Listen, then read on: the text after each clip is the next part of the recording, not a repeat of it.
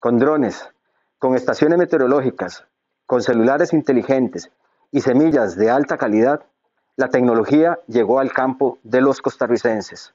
Estamos desarrollando tecnología e innovación para el mejoramiento de la producción y la productividad de los agricultores y las agricultoras del país. Seguimos avanzando para garantizar oportunidades de desarrollo y de producción a los y las productoras del país.